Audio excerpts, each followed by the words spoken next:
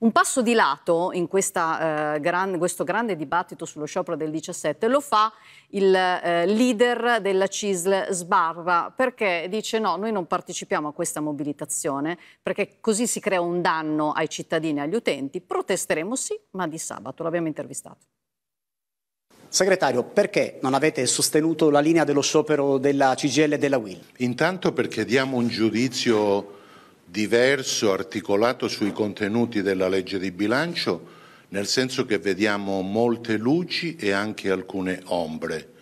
Per sostenere la necessità di cambiare e migliorare la manovra economica abbiamo proclamato una giornata di mobilitazione nazionale con una grande manifestazione che terremo sabato 25 novembre a Roma a Piazza Santi Apostoli.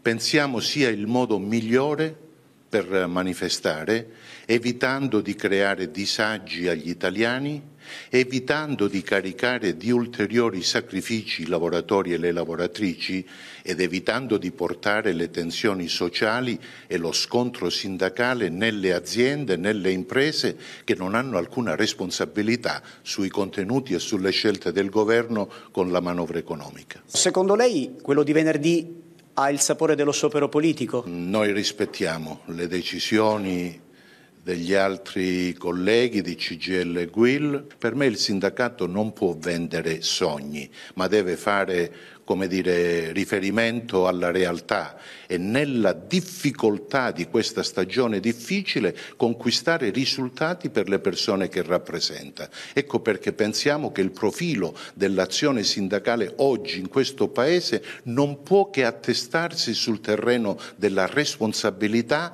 del pragmatismo, del riformismo, dell'autonomia dalla politica. Io inviterei tutti ad abbassare i toni e a concentrarsi concentrarsi sulle questioni che riguardano i necessari miglioramenti della legge di stabilità, mettendo al centro il vero interesse delle persone, dei lavoratori, dei pensionati e delle famiglie.